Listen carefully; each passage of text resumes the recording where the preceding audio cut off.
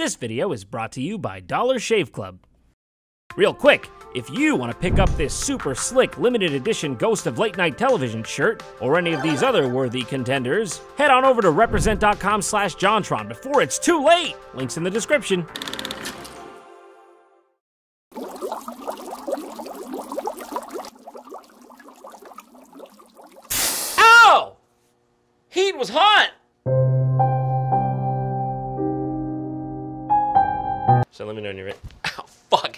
I actually burned myself for real. All right. Ow. Oh, you shouldn't be doing what I'm doing. I don't think you're supposed to do that. Okay, ready?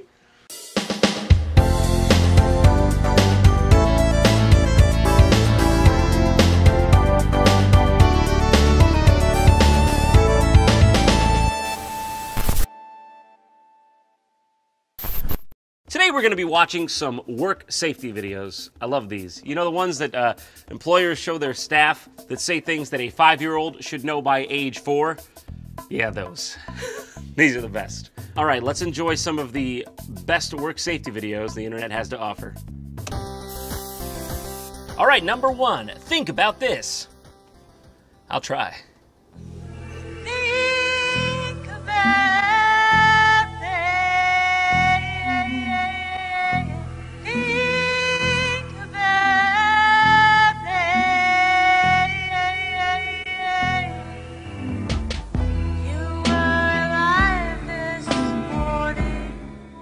Was, I think. I mean, actually, had you been there, you might have disagreed. Oh my god. He's woven straight into that Persian rug forever now. Yes, okay, he had a bit of an accident, but it's one of a kind. I give you good price.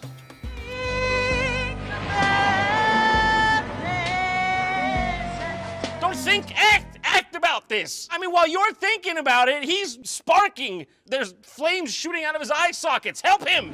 You're gonna burn up in that hot suit today. Boy, I hate that darn thing. Shh, I'm not gonna wear that hot suit. I'm not gonna wear that. Go in the radioactive chamber. Hate that radioactive suit. It's boring. Shh, out of fashion. Warm. Psh, don't like it. Oh, my skin's melting. What the fuck do you think's gonna happen? That was just that guy's fault. That's not work safety. That's work dum dum.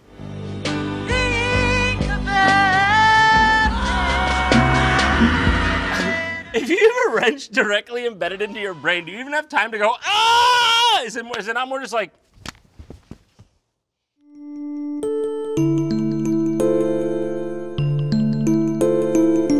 Be safe on your job today. Don't die, don't die, please don't die. You were alive before you died. Don't die. That now this gets straight to the point, gets to the meat of it. When you're on the job, don't die. That's gonna really affect my bottom line. What do I pay you for? What do I pay you for? You're literally less than useless. My paraplegic grandma could do more than you, god damn it! All right, number two, coughs and sneezes, 1945. You may have met a few people who like doing this sort of thing. Oh, he might be me. They're a nuisance, I agree, but pretty harmless. You have certainly seen thousands like this. They're not a nuisance. They're a real danger. This guy's just a dighead, is what he is. Everyone's like, "The f- come on, man, Jesus. Hi, stop it, you. Stop it. Stop it. Stop it, stop, stop it. That's what you say the first time you see someone do that. There's no video necessary for this. Someone goes, hey, what's going on? In a big crowd, stop it, stop. What the fuck? Come here. What do you think you're up to? You've probably infected thousands of people already. What do you think this is for? I'm going to jam it right up your ass for being such a stupid, inconsiderate piece of shit. Close your eyes.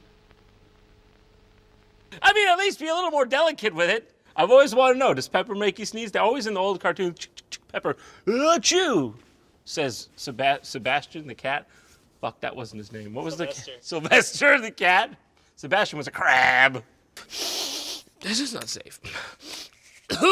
all my all my passages are burning up. It's a never-ending feeling of my inner world on fire.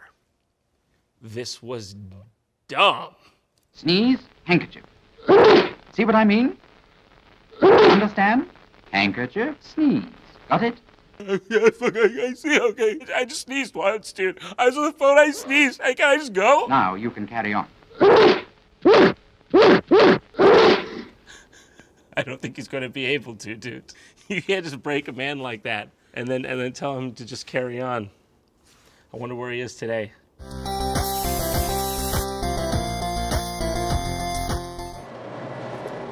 Hello, I'm Inspector Roy, here to do your regular city health inspection. Uh, just do your regular city health inspection, not here in uh, inspector garb and uh, a secret serial killer at all. Just Inspector Roy. Very good spaghetti. Oh, Harry, that's a major violation. You can't eat and drink in the kitchen. Oh, Harry, not only is that a major violation of health, that's a violation of human decency. Well, Harry, you just keep messing up here. You've got on dirty clothes. You just wiped your hand with your gloves. You need an apron on, and you've got a He looks seriously like he's mad dogging Inspector Roy right now.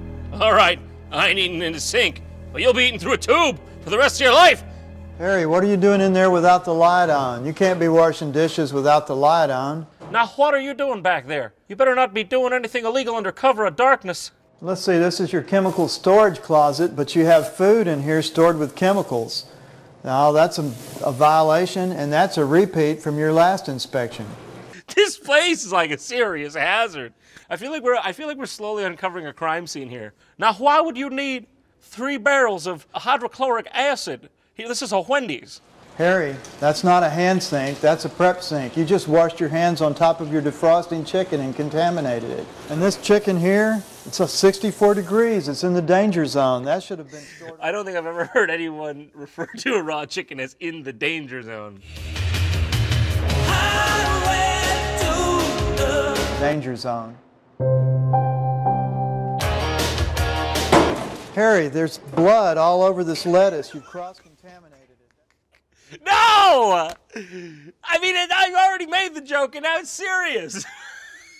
it really is turning into a murder scene. Now, Harry, what is going on here? You got fingers in the spinach, a foot in the arugula, and that's just bringing a whole new meaning to a head of lettuce.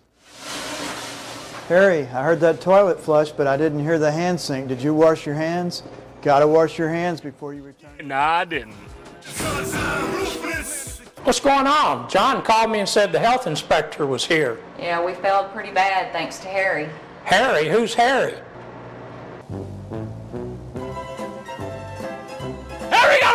watermelon scot free! You gotta be fucking kidding me! He got away with this whole time! You bastards! You've been hoodwinked! Okay, this one's called Shoe Store Head Trauma. Bloody Lucky. Hello? I have to go. I mean, she's just like shopping at your store. Is, is there an issue? Can I help you? Do you have this in a size 8, please? Let me check the back. Yeah, you check the back. See if I care.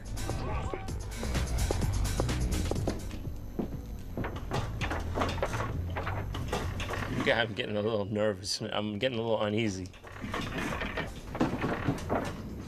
I hope she like falls through the wall onto the other lady, and they both die, because really they both seem kind of unpleasant, and I don't like them.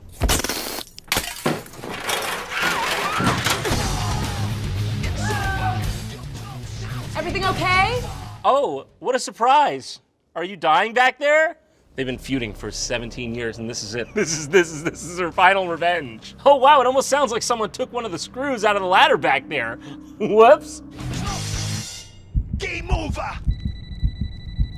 Well, yeah. Don't don't do that. Don't fall on the fluorescent glass smash and die. I agree. Now we got heat stress safety training video. As spring evolves into summer, the potential for heat related illness also rises. Jesus Christ, I'm not joking. Like this video is actually making me uncomfortable because I, I hate the heat.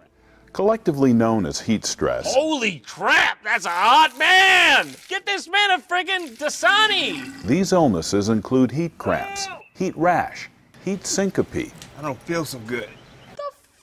Fuck is heat syncope? Heat cramps, sky cramping. Okay, got it. Heat rash, beautiful visual. Heat syncope. I don't feel so good. Oh, I wish I wasn't suffering from this heat syncope. You guys didn't know what it was either. That's what it is, isn't it? In this program, we'll learn how to respond to victims of specific heat related problems, and most importantly, The heat death of the universe. Heat stress. when exposed to hot conditions, excess body heat is expelled when the amount of blood circulating to the skin is increased. Yeah, I know how being hot works. Is this you can't seriously be telling me they're making a video about this. I mean, I don't know if this video kind of like explained things properly. I feel like I got to go follow up on the website here. atr-inc.com. Let's see what they got for us. Here it is. Understanding and preventing heat-related illnesses. $495? What the hell? They- They're, try- they're selling this 16 minute video about sweating for $500? Do you want to know what's even scarier than that? That is apparently the bestseller. Above stormwater pollution prevention plan. One of them is stand in the shade, drink a cold iced water. The other is uh, there's pollutants in the water. It's going directly into 5,000 families' houses. 16 newborns are affected. Stand in the shade. Get a little, hold little fan, one of those little fans, hold it on your face when it gets a little hot. Air New Zealand safety. Oh my God, is this what plays on the plane? Nothing can ever match the Virgin America one with Todrick Hall.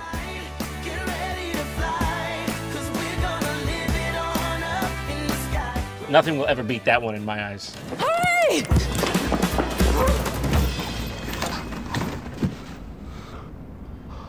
Oh my God. That's a sweet hat. I bet this is just Elijah Wood's actual normal day, poor bastard. He goes out to get a sandwich and some fat, sweaty nerd comes up and goes, I'm here to guide you on your journey, so cease your rebel rousing and listen very carefully. Oxygen is precious to you beyond measure. Pull down on the mask, place over your nose and mouth. Just use a spell! It's just weird seeing like Lord of the Rings fantasy characters putting on a freaking oxygen mask. I've seen an elf woman make a wall of horse water destroy a bunch of ring wraiths, and I'm supposed to believe she needs a gas mask? She's immortal, goddammit! Unless you get stabbed, I think. I think elves are immortal unless they get stabbed. If there's a mishap during takeoff or landing. That's not Gandalf. That's not Gandalf. That's not Gandalf. I've seen Gandalf. It's not him. Mm-mm. Mm-mm. Mm-mm. Put your hands on your head and your feet flat on the floor. I didn't need to see Gandalf brace for impact, okay? That man fell down with a Balrog for like 100 eons in his brain, at least. It was in the movie, it was like five days, but he's not gonna die if he crashes in a plane. Maybe he will. Elves will. Life jackets are easily put on while seated. If you're seated in a Skycouch, it's in your leg rest. And if you're seated in business premier, it's located here beside you. And if you're a peasant in economy class, your life jacket's up in Isengard. Haha, just kidding, you don't have one. This man should be seated far away from the emergency exit out because I don't I don't trust his slippery buttery fingers. Inflate your life jacket by pulling on the red tab. If you need to inflate the life jacket a bit more. The Hobbit's the only thing about New Zealand! Have you seen Lord of the Rings? This is me in New Zealand! Crew will provide cute little life jackets for our littlest people. Why is he so small? Is it because he's a hobbit in the movie? But he's just Elijah Wood here. It just looks like a very small man. How much pussy you think Elijah Wood gets when he's a little dude on the screen? Hey babe, I'm at the bar. You know who I am? You ever been to New Zealand Airways? I'm the little guy on the screen. I'm a little baby, baby in New Zealand Airways ad. Why is he so small? It's really bothering me. Your crew are now pointing out your exits. Your nearest exit could be behind Ugh, it's just not right. That's not Gimli. It doesn't look like Gimli. It's gross. I mean, Gimli's gross, but that's grosser. I don't fucking know. Turn this shit off. Get the plane off the ground. Get me back to fucking California. So tonight, get ready to fly. Introduction to basic health and safety. Nice and simple. I like that. Let's see. In this film, we will outline the areas you need to think of and show you that health and safety need not be confusing. I wasn't really confused. An introduction to health and safety. Now you've confused me almost immediately, and you promised me you weren't going to do that. Be familiar with your workplace. You should be familiar with your workplace and the tasks. He looks a bit too familiar. He looks like he could use a getaway. Lifting. This man looks like he's about to commit a crime. He's casing the place, for God's sake. Bend the knees and keep your back straight. Take a grip on the load and start to lift in a smooth upward movement. That is the strangest way I've ever seen anyone lift anything in my life. This is how you lift a box.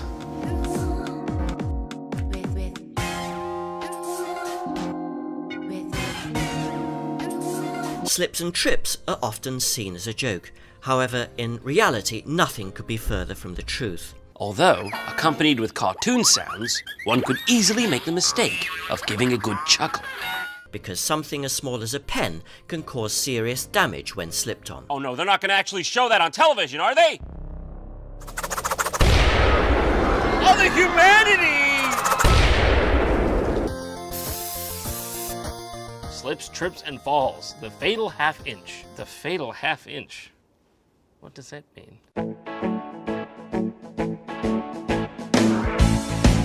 Ah, of course, it, the fatal half inch, or how using your eyes can save your life. You know, the correlation is quite simple. In this short video, we will show you something most people don't realize about what causes us to trip and fall and how to avoid this dangerous hazard. How many fucking people are tripping and need a video about it? Because apparently it's a lot. For God's sakes, people are paying $500 to learn how to stay in the shade. Can you spot the trip hazards in this photo? I gotta tell you, I really, I really can't. Is it the, the red bottle cap? Little piece of tape? Okay, tell me, where, where is it? Where is it? Here's one where the surface changes elevation. No, it's not. No, it- no, I'm just gonna call bullshit on you. Here's, no, here, here is not one. Would you see this one? And two more changes in elevation more than half an inch. All right, this has turned into a straight up actual conspiracy video. This is what a conspiracy theory YouTube video looks like. People tend to trip over things that we see all the time but don't normally notice. If you look at this man tripping, it looks normal till you zoom in and you see the reptoid pop out at the last minute, causing the man's knee to buckle and for his body to fall forward in a rolling motion. Most people don't see that reptoid bump come up on the first viewing, and that's exactly what they want. Anywhere you see a crack in a walking surface lurks a potential trip hazard. Jesus Christ! This is a new one. I've never heard of a minor elevation paranoia. I want to know when, when, when he's scanning an area, th- what, what is he seeing? Holy crap, would you get a look at that? What do you think they're trying to hide from us? That's at least a good one, two millimeters there. Stop! Stay where you are! You could have tripped right over that, man. That's at least a good six millimeters deep. You stay safe, Jake, all right? I'll see you back at the office. But can you see the other hazard? Sharp, unexpected changes in elevation are particularly dangerous. Uh, y- yes, okay, that's a bit more of a tripping hazard, I agree, if you're a bumbling moron. We can get so used to hazards we forget they're there. Hazards hide in plain sight. I'm just going to put this out there. I don't think that's plain sight. I think that's a sewer or catacomb. And those are usually put pretty much out of plain sight. Maybe the farthest from plain sight that anything in a society is. Keep in mind that it's the little things we don't normally look for that can. Reptoid 1, Reptoid 2, can't fool me, okay? I'm woke to this. Reptoid 3. Remember, it only takes half an inch to change your day for the worse. Use your eyes and be aware of those little trip hazards as you walk. Be paranoid. Be absolutely everywhere you go. Hypervigilance is the key. Always be on the lookout for minor dangers, no matter how unlikely. Namaste. You know, I gotta say, I learned more than I thought I would from these. I think it's about time I applied a bit of this to my own life. Hi there. Here at JonTron Incorporated, we've taken a hard look at our workplace safety procedures and have decided to revise them to keep our workers safe. But most importantly, to keep them alive. Because if your heart ain't beating, I ain't eating.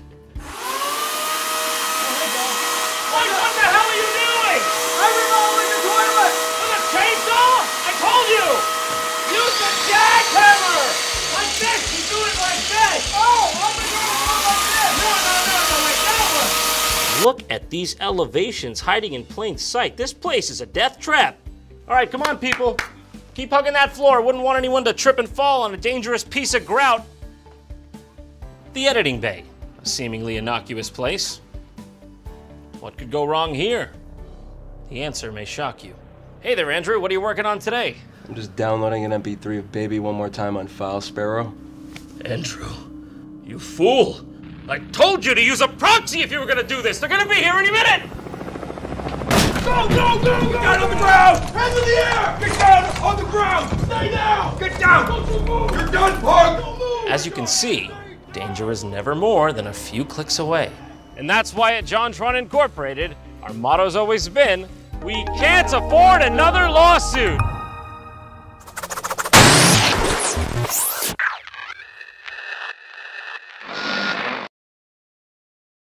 I'd just like to take a second to say that none of this would have been possible without Dollar Shave Club. A big thanks to them for sponsoring this video and helping us bring more of this content into the world that we love to make for you. No matter your routine, Dollar Shave Club has everything you need to help you look, feel, and smell your best. Shower products, oral care products, hair products, skin products, butt wipe products. Seriously? They have that? And obviously shaving products. They automatically keep you stocked up so you don't run out, and you can choose your delivery frequency so you get what you need however often you need it. Fun fact, I actually use their razor every day for real, and it's quite a good product. You just pop it on when you're ready and pop it off when you're done. Pop it on when you're ready. You can keep doing this all fucking day. Also, here's a picture of the real one I use. Gross, but proof. Go to my exclusive link, dollarshaveclub.com slash JonTron, and receive a starter pack for just $5. And take the first step towards changing your life forever. Or at least your shaving and butt wiping.